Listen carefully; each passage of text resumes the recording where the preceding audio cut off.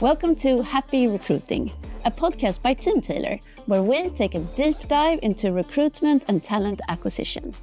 I'm Lisa, heading up the HR team and also your host.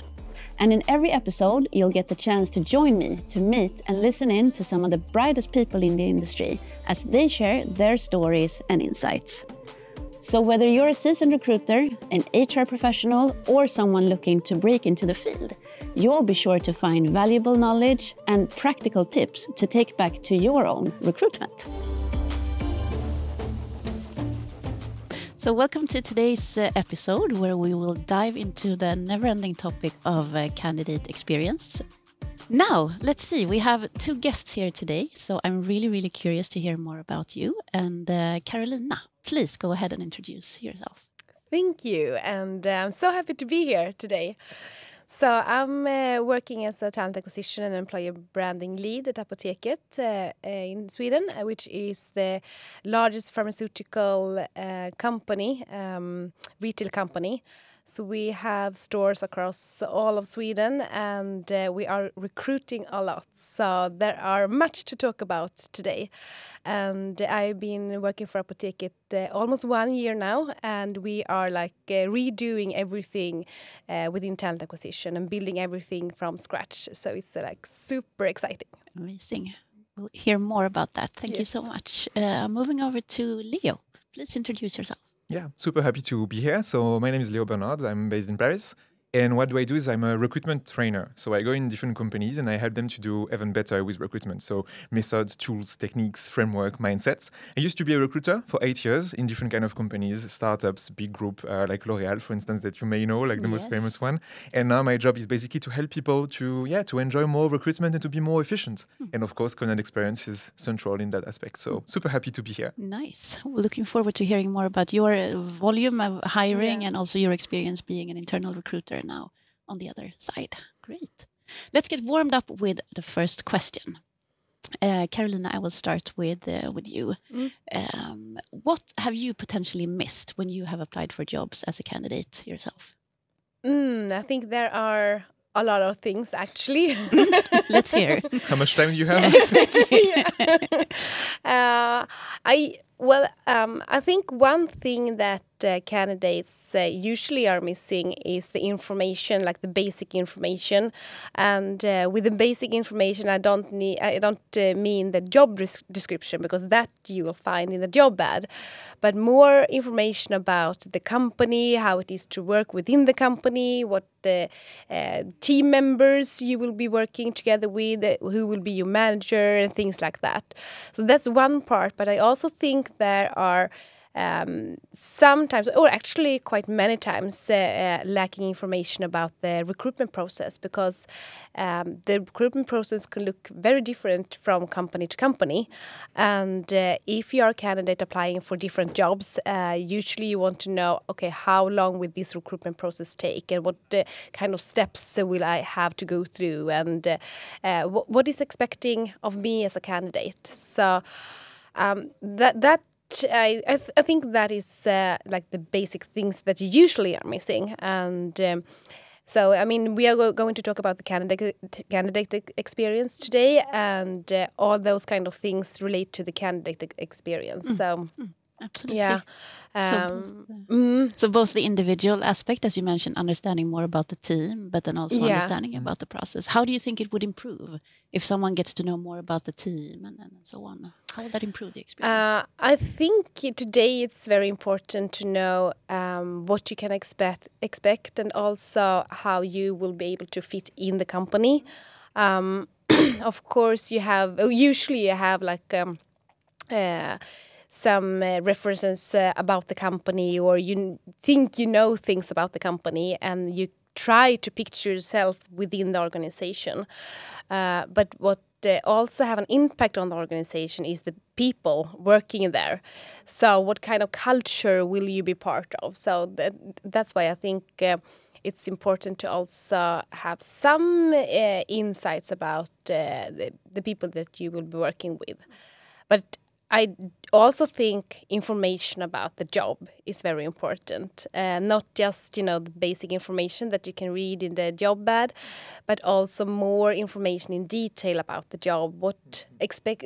What what does it expect from you, and uh, what will you get out of um, that specific uh, job? Great. So there are bo both individual uh, aspects, but also um, perspectives that will cover the whole, like the whole experience as an uh, employee. Mm. Thank you so much, Leo. I will ask you the same question. If you've applied for jobs, as, have you experienced anything that you've been missing? Mm, I think not to repeat what uh, what has been said. Like the the one to me keyword is like respect. Uh, I think like uh, experience is all about how you feel as a candidate, like uh, and as a customer is the same. And I think in my previous jobs when I applied as a candidate, there's like no respect at all. Like you know, you mm. the transparency is one is one thing, is the first is the beginning of everything. But then you arrive in a in an interview, the person is late, they don't know anything about you, they didn't read your resume, neither your cover letter. Uh, mm. Uh, the questions are like whether they're boring, like they're not really like thought about or whatever. So end of the day, like you don't feel respected as a candidate, and you don't want to work for a company that don't respect you as a candidate because it will mean that as a, as an employee they won't respect you either. So I say the main keyword to me is this one. It's mostly during the process that this part of respect happens. But yeah, this is to me the, the biggest uh, trigger that I have. And I was like mad at companies because they, they didn't answer. And this is the second mm. thing, it's like almost about ghosting as well. You know, like a lack of answers. Uh, sometimes you have weeks, uh, not one week, but weeks, like multiple weeks without any answers from a company. So you drop out uh, because you don't feel respected once again. So this big keyword to me is respect here that is missing, and most of the companies should start with that, mm. then build on super fancy uh, other stuff. But if they and don't have respect, I think I think it's quite interesting because yeah. uh, when you apply for a job and you go through the uh, recruitment process. Uh, that is the first time you interact with the, the company, yes. and uh, I mean the first impression impression lasts, and uh, recruiters or hiring managers sometimes seems to uh, forget about that yeah. uh, and uh, yet it's like super important to really take care of the first time you meet someone and uh, that you treat the candidate with respect yeah 100% Mm. I like what you both said there. You were talking about like the basics of uh, the process and, and, and job and understanding who to work with, but also as you mentioned, Leo, I mean, basic things like like respect. Mm. Uh, and it sounds like having that sort of foundation before adding a lot of I don't know tweaks or or making it all fancy, mm. but making sure that you have that to create the first impression and then um, move from from there. Nice. Thanks for sharing those those examples. Um, but also then, how do you then make sure um, that the experience that you want to achieve um, when hiring as a company, how do you make sure that that experience is really there? How do you make sure that the experience is as good as you want it to be?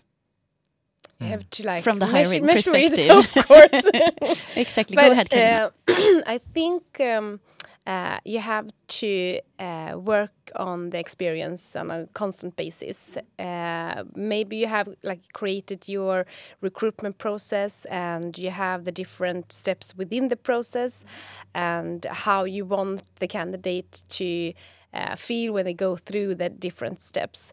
But you also have to like come back to that uh, on a regular basis, I think, and evaluate how does your expectation meet the the candidate um, uh, experience. So, I think it's it's important to once in a while uh, actually ask the candidates. Uh, you can have like a survey or whatever kind of tool you decide to use. But uh, I think that is very important. But uh, because otherwise, you will only have your own perspective. And uh, uh, when you have created something, uh, you usually feel very proud about that, mm, and yeah. you don't like go back and really um, try to understand does it meet the the requirements or the goals that you have set up. so I think it's important to come back once in a while and really try to uh, to see does this uh, process or whatever you have uh, meet the expectations you had from the beginning. Mm. So ask uh, for feedback from candidates. Anything you want yeah. to add uh, to that? Well, this is the, um, yeah, the first thing, like to ask feedbacks, and mm. like all the time. I think even if it's like random discussion, like uh, in interviews when you have the person for the first time, why did you apply? How did you feel about this job description? Did you have any information on the website and so on and so forth? That's the first thing. Then you have like a second uh, aspect of that is like yourself apply to other companies. When I was a recruiter, I, I mean, I was curious to see, okay, what, what else is out there? Not because I wanted a new job, Yeah. but to see like the process. So I was applying almost every month to different jobs just to see like the, the auto reply I've got, for instance, when I apply, just to see if they ask me for an interview, how do they do that? If they say no, you know, how is it made and so on and so forth. That's the second, a second aspect. And the third one is also to ask to your friends and family, hey, in your recruitment process uh, recently, uh, what are the things like? How did how did you feel? How um, how are you treated by the people?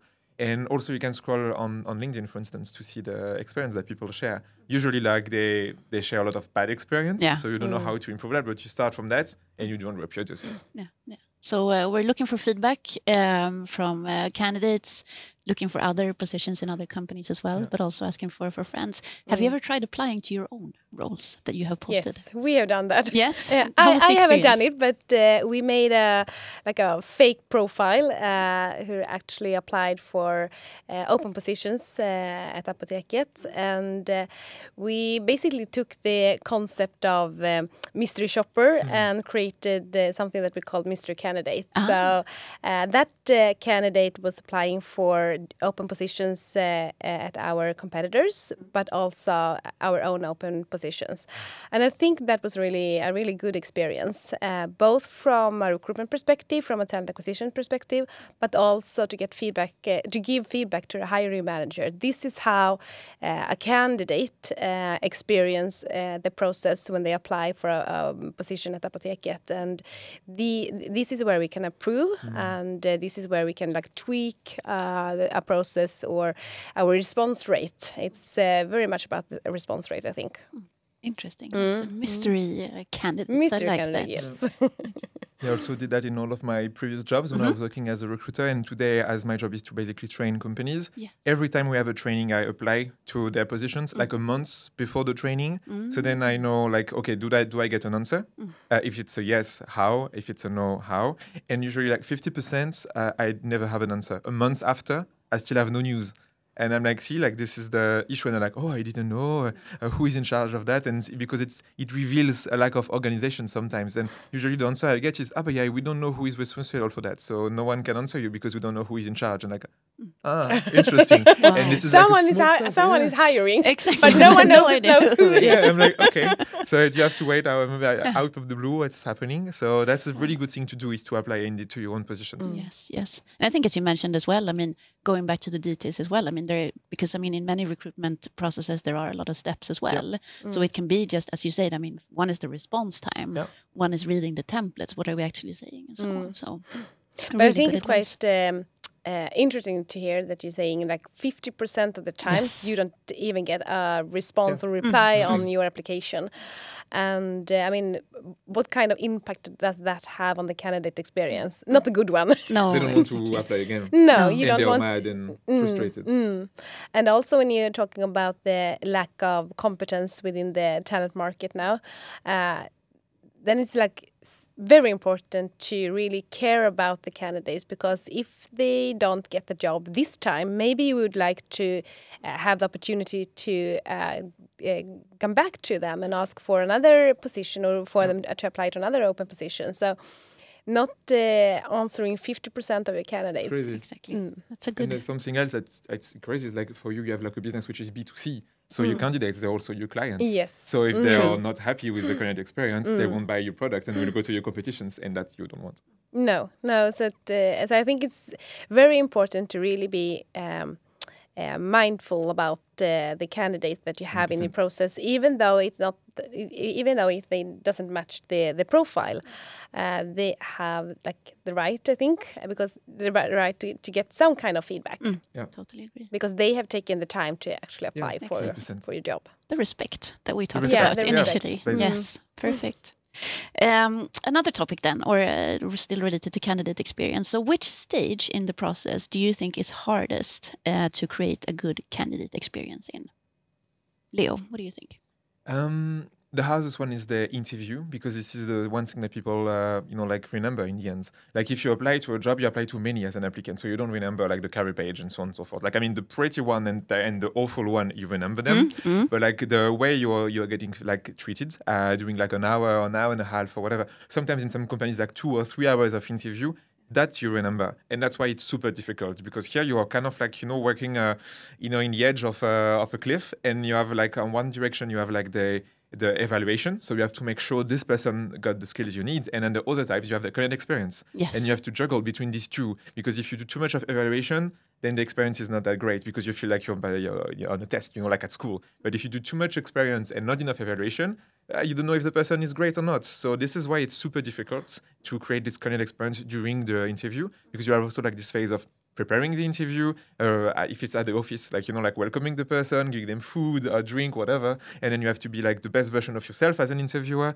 when you're in front of candidates. So there's so many details that you can miss and one bad thing here can be super costly. So that's i would say the the middle of the process basically. the middle of the process. Many elements that can go wrong but also Yeah, opportunities things, to course, make an experience that's make why an it's impression. Good. Carolina what do you think? Do you agree or do you have another part? Uh, I think, uh, of course, the interview or the um, step where you interact with the candidate in some uh, way, uh, that is like very important, of course. But I also think the time between the steps.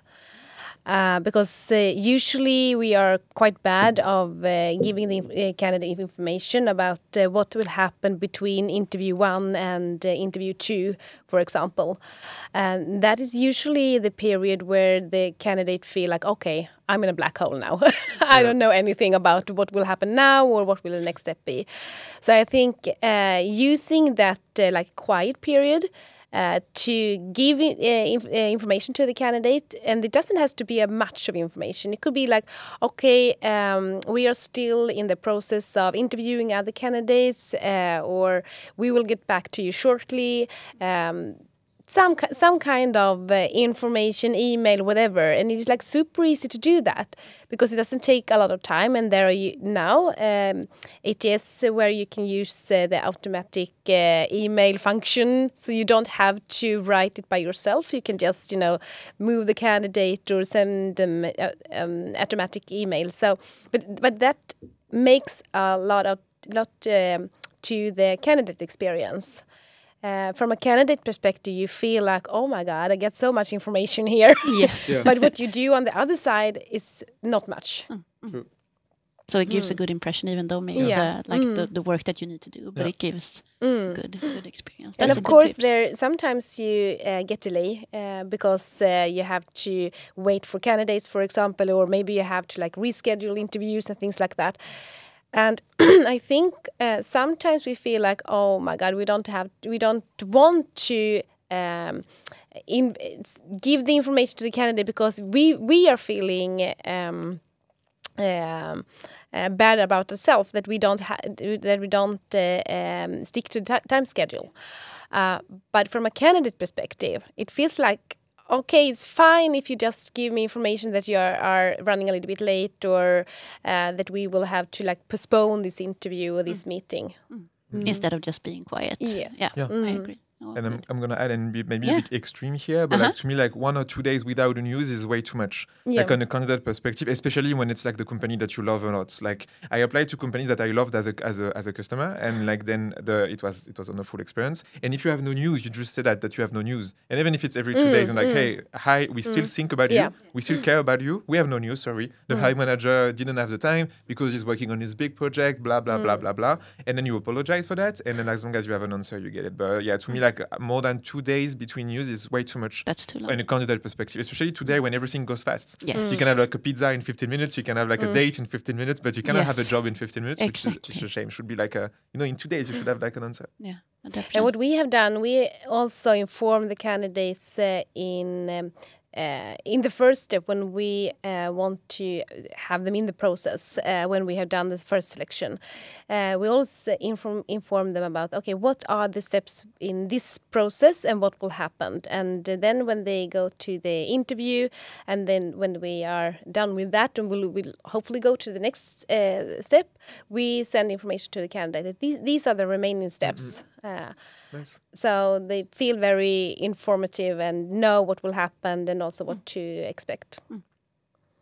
And you mentioned hiring managers uh, Mm-hmm. here as well as one topic. Um, and in our role sometimes then as uh, recruiters, how do you support and, and educate hiring managers to make sure that you have this consistency in the candidate experience? And Leo, you're, I feels like you want to answer this it's funny, like you educate high managers, Yes, you know, yes, like yes, uh, yes. you're like they are little kids, and uh, yeah, I mean, usually like the most of the of the failures occurs because of, of hiring managers, because in most of the companies, like people like, I mean, this is a real job to do a recruitment, and even the recruiters sometimes are not trained, which is one of my battle today, but like the high managers even less. And the thing is, recruiter is your job, so after a while, you know how to do your job, but hiring managers, you have to do your proper job at the same time. So it's like maybe what 10% to maximum 40, 50% of your job spending in hiring. But if you don't know how to do it, if you don't have like the skills to do it, if you don't have the, the, the you know like the knowledge and the tools, well, it's impossible. So most of the recruitment, recruitment they fail because of that. I have like uh, to me like there is like four categories of hiring managers. Like the, the the the worst one being like you know like the one you don't want to work with, like the toxic hiring managers. Like they always destroy your process, and like no matter what you do, they do the opposites, and like it's awful. And then the fourth, like the, the best one is like the champion. So you have to make sure they are the best in in their class, and that sometimes they are better than you. In one of the company I've worked with at Choco, I've trained them and uh, make them you know like love recruitment. So they were doing better stuff than me. They were better in sales, in pitch. They were better in sourcing. They were better in interviewing. And I was learning from them at a while because I was like, wow, okay, it's if I focus on recruitment, my team is filled with the best individuals. So I'm faster on my projects. So I have a better bonus and so on and so forth. When they realize the impact recruitment have, they are the best. And usually like there is like this war between uh, hiring managers and, and, and recruiters, but it shouldn't be the case. And just everyone should understand the other. So like the recruiter understand that the hiring managers basically they have their own job to do. They cannot be you know like hundred percent uh, available. And then the other way around as well. That it's a real job to hire people. You don't have to do mistakes. So you can just do like internal trainings as a starter uh, with your hiring managers and give them the knowledge you have. Uh, learn uh, how to use the tool. Uh, like if you use like a really good ATS to collaborate in the same platform, well, it's much better than just emails and slacks. Yeah. And, and that. So the, the, this is the new- level one. Is like to understand each other. Level two is to train the hiring managers, and then level three you can get uh, way more and teach them how to do the stuff even better. So a good system helps as well. But I think, as you mentioned there, I really like what you're saying. That I mean, accept that they might know things better than you as well. So it's not coming in like Yeah. you need to be the expert, and, and we're going to here to educate you, but uh, learn from each other. Carolina, anything you want to add? Yeah, I think um, it's also important for a hiring manager and a talent acquisition partner to know what are your responsibilities and what are mine responsibilities. And uh, from a talent acquisition perspective, we uh, usually know all the about usually know um, all the steps and what we expect to find in all the steps as, as well.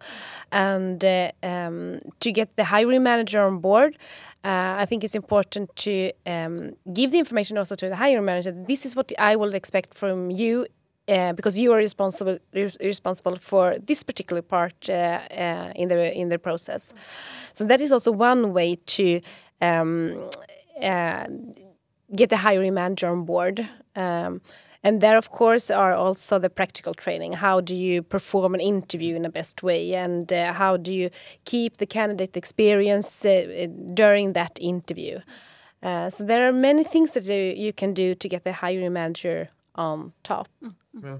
But the expectation part is really good. I mean, like in any type of collaboration, right? This is Yeah. what I expect from you, and this is how we can. And also, I can how, do you how do you ask your questions? Uh, um, templates for that and guidelines. Mm. And basically like the mindset you know like uh, your client your candidate is a client and Yeah. you know like people like salespeople they won't they will never be late at a meeting with a client. They will never let him wait for like two days or whatever. So you just do the same framework for candidates and it works. And you can use like the data from it's uh, virgin media. They did like a calculation on the costs of bad employee experience. And i won't go into details but it's 5.2 million pounds per year which is crazy because they compared like the um, the candidate that have a bad experience as a candidate and the one that was subscribed to Virgin Media, and then they do like a cross pass, and most of them they just drop. Uh, and they go to Netflix or whatever instead. So because they have a like, bad experience, they tell to their friends, to their family, and it's 5.2 million pound per, per year, which is crazy. That's so a lot. yeah, maybe you can put in the description the link. It's crazy Exactly. experience, Yeah, and yeah, they yeah. realize that it's really costly. So it is a business topic. Yeah. It It's not like a, It oh is. wow, it's a, a candidate care and we are so good people. No, it's it's business, It's it's, business, money. yeah. Mm, Yeah. mm, absolutely, I totally agree with you. And uh, candidates tend to uh, let the friends know about uh, a bad experience. Yes, exactly. Uh, sometimes also about the good experience, but uh, I mean, you can just go to yourself. If you have had a bad uh, customer experience, uh, for example, uh, you tend to tell your friends about that. Don't go and buy that product. Don't go to that store. And I think it's the same with the candidate experience. Don't apply for that company, and that will have an impact on your uh, business goals in the end of everything. So uh, it's uh, very important to um, give the managers the uh, possibility uh, to be good hiring managers. So, before we were talking about things that you might have missed in your own experiences as candidates. Um, but I'd like to turn the question around. Do you have any now examples of uh, things that you've seen that have just been outstanding uh, when it comes to candidate experience? Leo. Um, can I ask the AI to answer for me? No. Yes, um, let's try two examples. One I put in place and uh, and one I've seen in a company. Uh, that's the one I've seen. It's a, a French company called Foodles. So uh, they did something with like the candidates that you say no to. Uh, this one that we usually forget. You know, you say no, and then they are like, uh, I mean, sorry for that, but kind of garbage, and you forget about them. So what they put in place is like a newsletter. So like the people they say no to, but they feel that maybe one day they can be interesting candidates. They send a newsletter to them every single month, and they manage to hire 100 people in two years with that. So basically, like the people that they're already engaged with the company. So instead of saying just no and you know like move on and get away, they put them in a newsletter and they hire them. And the example I put in place, uh, it's called like a candidate kit. So basically, let's say between step one and step two, you send like a PowerPoint or whatever, like a PDF file of 10 pages to explain the rest of the process, to give information about the company. So you, you feed the candidates with a lot of stuff, internal stuff about your company, how it's going to happen, the time of the process, uh, any advices for the candidates. This is really amazing. And just like document you send. So you create it once, it lasts for two hours maybe to create this document, and then you use it forever. Coming back to what you said before as well, that we want to reduce the waiting time as well and, and, 100%. and Yeah. keeping sort of the You keep them happy, uh, you're busy. Yeah, yeah. And also, also to Yeah. provide the candidate with uh, new information between every step. 100%. Uh, and it doesn't have to be much. It could just be something that is new uh, about the job or the company or the benefits, for example, things like that. Yeah. I really like it. And also, I, I've heard somewhere about like uh, talking about candidates that didn't get the job as like uh, silver medalist and, and, and bronze medalist, and, and sort of keeping that Yeah. uh, still the importance, and, Yeah. then and that you can sort of reuse uh, the talents. Are really nice, nice examples. Um, Carolina, so now we've talked a lot about uh, different initiatives and candidate experience. You mentioned some examples and so on. But how do you measure it? How do you know how, how well you're doing? Um, I mean, one way to measure it is to uh, use the candidate experience net promoter um, code Score, score yeah. score. Thank you, uh, the CNPS. Uh, so that's one way, and that's a very easy way to do it. But uh, I think you can actually challenge you a little bit more uh, when it comes to measure your candidate eh, candidate candidate experience. And uh, there are tools and companies that provide that kind of solution. And uh, what you do is actually that you implement it in your recruitment process. And when a candidate will be rejected, yeah, you can also send out this survey kind of thing. Uh, so that is one way to do it. And I think it's important to really understand how a candidate um, uh, experience the process and uh, how that score relate to your uh, internal score, your K- uh, KPIs. So that's one way to do to do it, and uh, I do recommend everyone working with recruitment to do that. Otherwise, you will not be able to know if you are on track or off track. Anything you want to add on that, Leo? Yeah, I mean, like an example of, of how it's working. Like when I in the previous company I've worked for, I, I was using Teamtailor as an ATS, and there was like this NPS feature in it, and I answered like a candidate to say no. So it was like no. I mean, you won't join the company. So the guy got a no, so he knew it was done. And then in the feedback, on top of the of the notes, that was a nine, uh, which was a really good score for NPS. He added like a comment, be like, you know, I'm sad. Thank you for answering, but maybe you missed something. So I want to add this, this, this, this, and this. So it, it's not the main the main tool. I mean, the tool is not made for that, but he used that as like a backup. And then we're like, hmm, you know what? Maybe I should put back in in the process. So I give him a second chance, and the guy got hired. So by asking, by measuring the current experience, you can also maybe sometimes save lives. And you know, I've, I've got people that uh, join Exactly. the company as candidates, Wow. so it's And- working. And that wasn't the purpose of asking. You just wanted to have No, feedback yeah, on the process. feedback. and- And the guy was so convincing that Yeah. I jumped him back in the process. yeah, that's a nice example. Yeah. So I've had so much fun with you today, and time does fly when you are having fun. So we are now approaching the end um, of our uh, podcast. Uh, but before we do that, uh, Carolina, I would just like to ask you of uh, your top uh, takeaways or, or, or tips from uh, today's discussion.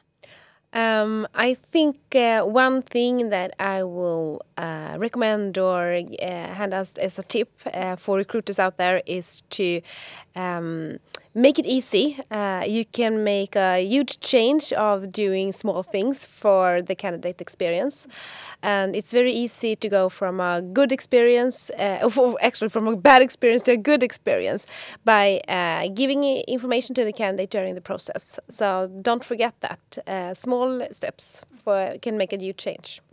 Small steps, definitely. Thank you so much.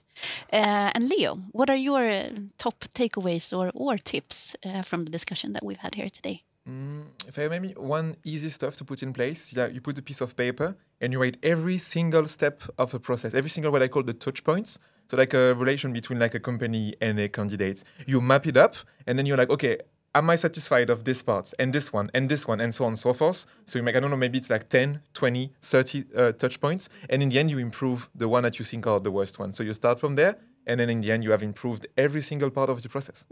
So breaking it down into Yeah, into breaking down into little pieces. Mhm. And then you change every pieces at a time. Thank you. And thank you both so much for joining uh, here today. I've learned a lot from your insights and, and, and tips. Um, so thank you for, for being here. Thank you. Steve. Thank you. Um, and also, I would like to take the opportunity to thank all of our listeners for, for attending. So, uh, see you next time. That wraps up today's episode of Happy Recruiting. We hope that you enjoyed our conversation and found some valuable insights to take back to your own recruiting efforts. So until next time, stay positive, stay inspired, and happy recruiting.